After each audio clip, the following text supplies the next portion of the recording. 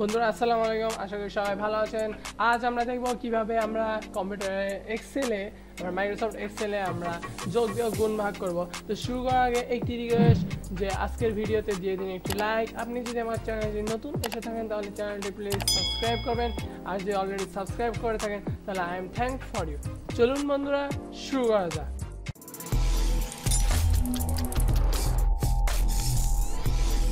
আমি tech Bangla pro seventy three tech and tech factory তো বন্ধুরা, এখন আমরা মাইক্রোসফট এক্সেল ওপেন করছি।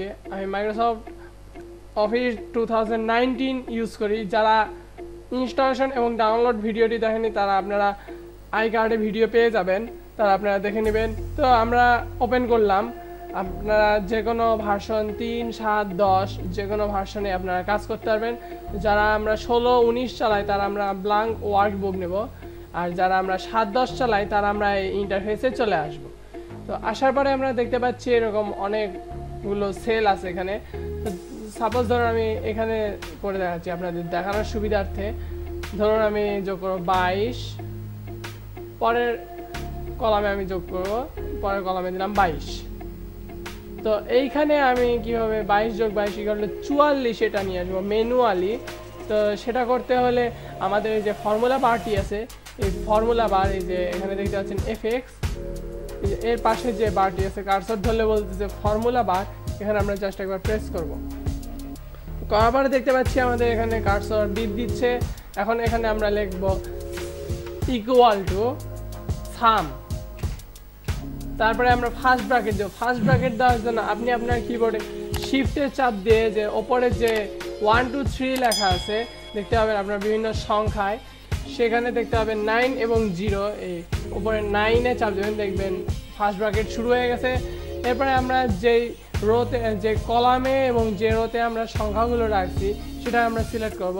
আমি বি থ্রিতে রাখছি, তাই বি থ্রি সিলেক্ট করলাম। দিয়ে প্লাস চাপবো। তারপরে সি থ্রি এবার আমরা ব্র্যাকেট ক্লোজ করে দেবো। দেওয়ার পর দেখতে পাচ্ছেন একটা সমীকরণ হয়ে গেল। এবার আমরা জাস্ট ইন্টারপ্রেস করি।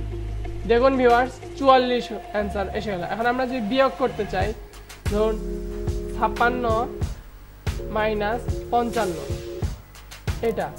এখন আমরা বিয়োগ যদি করতে চাই, একই পদ্ধতিতে ইকুয়াল টু সামেশন তারপরে ব্র্যাকেট দেবো আমরা দিয়ে B four minus C four দিয়ে ব্র্যাকেট ক্লোজ দিয়ে ইন্টারপ্রেস আমরা দেখতে পাচ্ছি যে ছাপ্পান্নতে পঞ্চান্ন বিয়োগ করলে এক।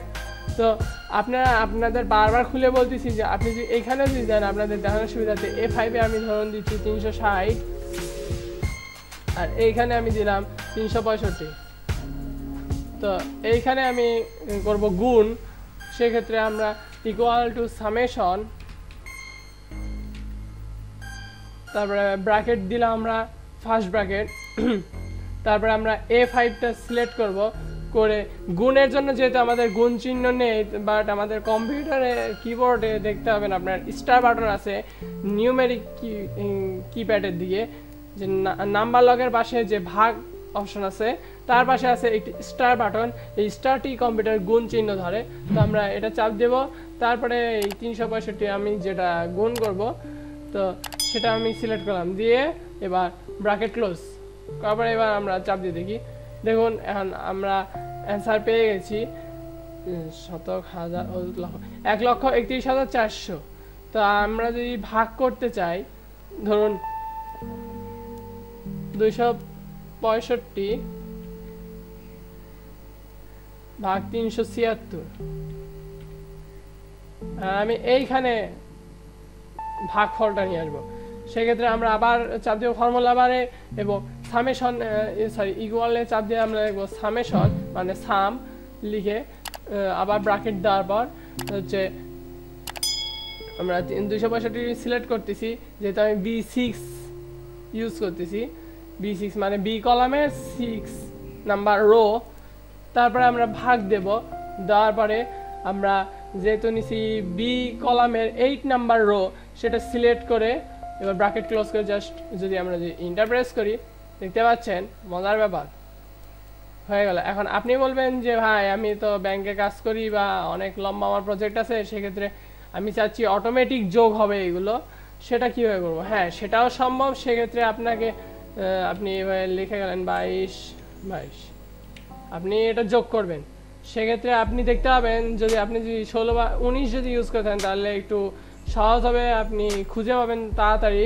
অটো সাম, আমি যদি বড় করে দেখাই, দেখতে পাচ্ছেন। হয়তো সাত, দশ, এগুলোতে হয়তো অন্য জায়গায় থাকবে বাট আপনি একটু খুঁজে নেবেন। এই অটো সামে আপনারা দেখতে পাচ্ছেন যে তীর আছে, এটাতে আপনি চাপ দিন। তারপর এখানে আছে সাম এভারেজ তারপরে কাউন্ট নাম্বার, ম্যাক্সিমাম, মিনিমাম, তারপরে মোর ফাংশন। সাপোজ আমি সাম দিচ্ছি, সাম দেওয়ার পর দেখুন কী হয়। তো আমাদের এখানে এরকম দেখাচ্ছে, একটি সূত্র দেখাচ্ছে। তো আমরা এটাকে যদি আমরা ইন্টারপ্রেস করি তাহলে দেখুন চুয়াল্লিশ। যেটা আমরা যোগ করছি, এখন আমরা যদি পঞ্চান্ন প্লাস উনষাট এটা যদি আমরা যদি বিয়োগ করতে চাই, সেক্ষেত্রে আমাদের অটো সামে যেতে হবে। তারপরে আমাদের হচ্ছে মোর ফাংশনসে আসতে হচ্ছে, এসে আমাদের লিখতে হবে। তাহলে আমরা মাইনাস দেব না, আমরা ধরুন যে হচ্ছে এভারেজ করব। বা অন্য কিছু করব। সেক্ষেত্রে আমরা এভারেজ দিলাম। এভারেজ দেওয়ার পর দেখুন। এখন আমরা ইন্টার দেওয়ার পর দেখুন। এভারেজ মানে গড় বোঝাচ্ছে এটা। তো আজকের ভিডিওটি এ পর্যন্তই। যদি আপনি যদি ভিডিও থেকে যদি কিছু শিখতে পারেন, অবশ্যই একটি লাইক দেবেন, কমেন্ট করে জানাবেন ভিডিওটি কীরকম হয়েছে। আর আমার চ্যানেল যদি নতুন এসে থাকেন, তাহলে চ্যানেলটি সাবস্ক্রাইব করবেন। আজকের মতো বিদায় বন্ধুরা এখানে। আসসালামু আলাইকুম।